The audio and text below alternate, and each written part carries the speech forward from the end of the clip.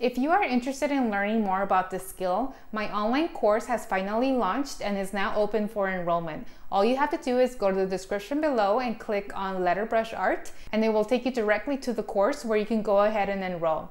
This course is a 13 week program where each week you will be learning something new. You will learn the foundations of name painting as well as strokes and other special techniques that by the end of this course you will feel confident enough to paint your own names. You can choose to take the class only, or you can choose to take the class along with the paintbrushes and paints and other art materials. All you have to do now is go to the description below and click on the link for more details. Until then, stay creative and I'll be seeing you soon.